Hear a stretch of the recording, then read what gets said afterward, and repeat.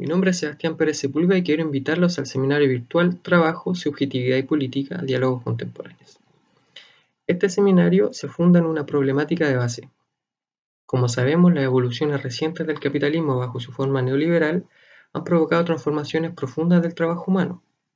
en cuanto a sus formas materiales, a su experiencia subjetiva y también en cuanto a su estatus simbólico al interior de las sociedades nacionales.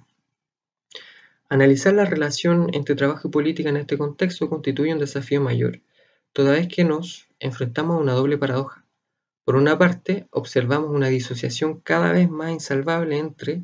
las experiencias laborales individuales, asediadas por diversas formas de precariedad, y una desarticulación durable de la acción colectiva fundada en el trabajo, donde las diversas expresiones del sindicalismo, que sabemos son reducidas en términos de representación, se debaten entre estrategias corporativistas y de resistencia al neoliberalismo. Por otra parte, si bien existe una proliferación de perspectivas críticas que dan cuenta de las diversas formas de control y de sujeción que gobiernan hoy los espacios laborales,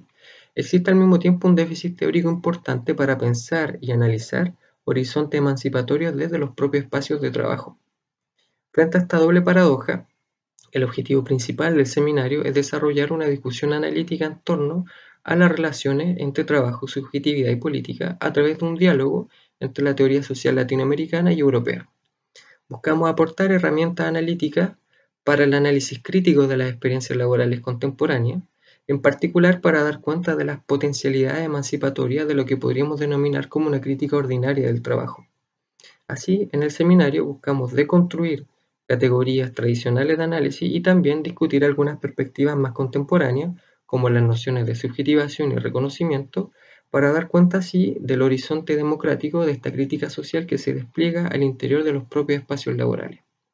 De este modo, más que una sociología tradicional del trabajo, queremos invitar a las y los estudiantes a pensar y observar las dinámicas laborales contemporáneas desde un marco analítico enriquecido en cuanto en una, en una noción ampliada de lo político un elemento central.